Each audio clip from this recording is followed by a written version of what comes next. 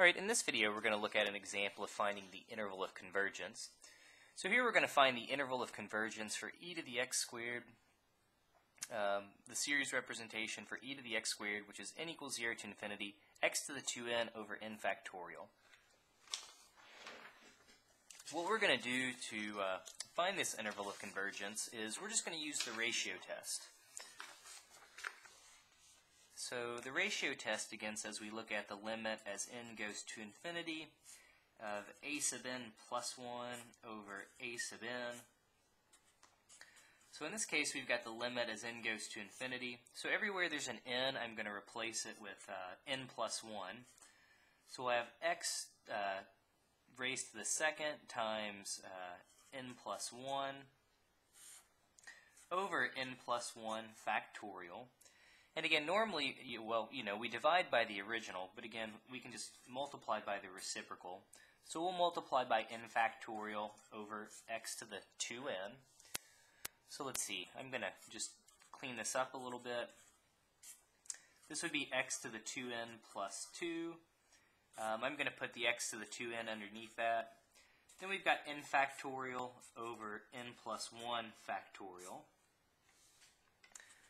Well, if we simplify, we have the limit as n goes to infinity. x to the 2n plus 2 over x to the 2n, we're just subtracting exponents. That'll leave us with x squared. Uh, recall you can just expand out n factorial over n plus 1 factorial. That's going to leave us with 1 over n plus 1. And in this case, uh, you can treat the x like a constant, so we can pull it out.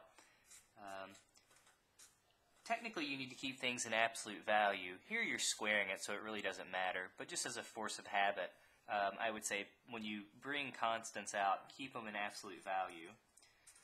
So we've got the absolute value of x squared times the uh, limit as n goes to infinity of 1 over n plus 1. Well, this is going to leave us with x squared times uh, well, let's see. The limit as n goes to infinity of 1 over n plus 1. That's going to be 1 over a large number, which is 0. Well, and recall what we want. So we want, um, you know, we want our ratio to be less than 1. Remember, for the uh, ratio test for the series to converge, the, uh, the ratio has to be less than 1.